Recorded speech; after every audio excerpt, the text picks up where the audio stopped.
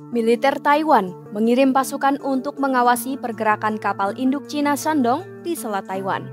Hal ini disampaikan oleh Kementerian Pertahanan Taiwan pada Kamis 9 November 2023.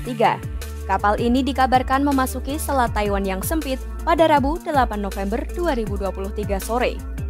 Kapal tersebut berlayar ke arah utara tetapi tetap berada di garis median jalur air sisi Cina.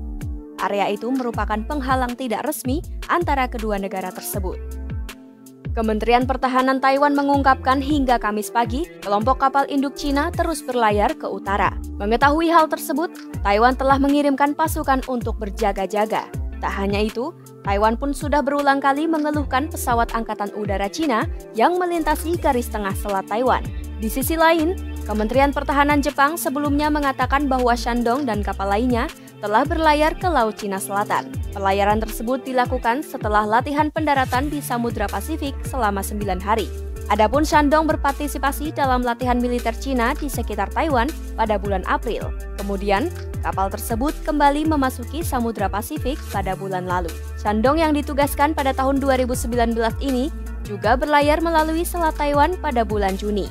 Di samping itu, Cina mengatakan bahwa Selat Taiwan bukanlah jalur perairan internasional dan hanya mereka yang memiliki kedaulatan di sana.